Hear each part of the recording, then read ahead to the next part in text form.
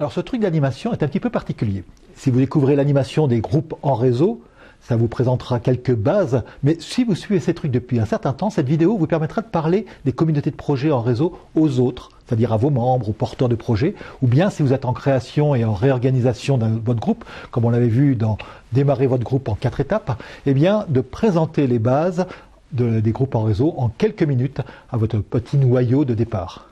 Alors vous trouverez dans la description les transparents pour faire à votre tour la présentation à vos membres. Et puis bien sûr, vous pouvez aussi diffuser cette vidéo à partir de maintenant. 5, 4, 3.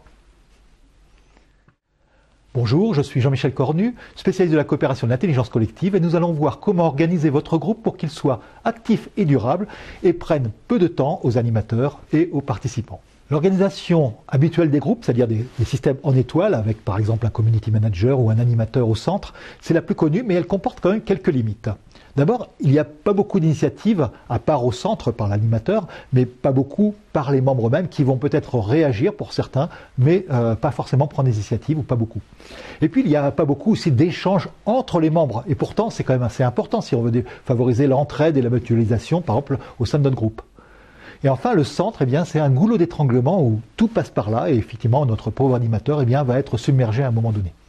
Alors, il existe une organisation qui permet de dépasser ces limites. Je parle de la communauté de projets en réseau.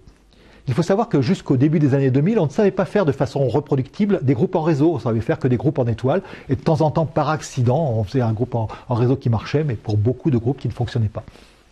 Alors depuis, grâce au progrès des sciences, alors les sciences cognitives, l'anthropologie, etc., il y a aussi de très nombreuses expériences, d'ailleurs dans le monde, eh bien, on a une solution efficace qui a émergé. On met en réseau des projets ouverts et des personnes et on les rassemble au sein d'une même communauté. Alors cette approche qui a été développée au départ dans le monde francophone a permis à de très nombreux groupes dans le monde de se développer et de façon active et durable. Alors entre 100 et plusieurs centaines de milliers de personnes d'ailleurs. Pour qu'un projet soit le plus intéressant possible, eh bien il, faut, il doit faire gagner du temps à tout le monde. Alors un projet, quand il est collectif et ouvert et qu'il est bien choisi, eh il permet de mutualiser des moyens et des savoirs et ainsi de faire gagner du temps à tout le monde, plutôt que plus de temps que ça ne prend pour participer au projet, si c'est bien fait évidemment. Et puis une petite équipe, alors typiquement entre 3 et une douzaine de personnes, permet de produire rapidement et efficacement des résultats concrets.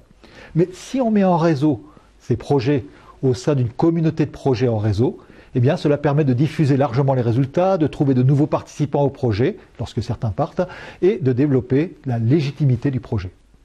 Que vous soyez intéressé pour lancer ou participer à un projet, ou bien à faire partie d'une communauté, s'ils sont organisés sous la forme d'une communauté de projets en réseau, vous aurez naturellement suffisamment de participants et de coopération et de résultats, sans courir après tout le monde et sans y passer trop de temps.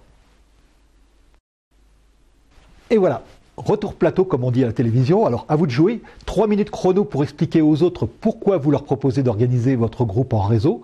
Réutilisez la vidéo. Au mieux, inspirez-vous des transparents fournis en dessous et faites vous-même la présentation avec euh, toutes les personnes avec qui vous avez envie d'avancer. Et comme d'habitude, abonnez-vous avec la petite cloche pour être prévenu des prochaines vidéos, likez. Et vous pouvez télécharger le guide de l'animateur une heure par semaine pour animer une grande communauté. Et je vous donne rendez-vous la semaine prochaine pour un nouveau truc d'animation.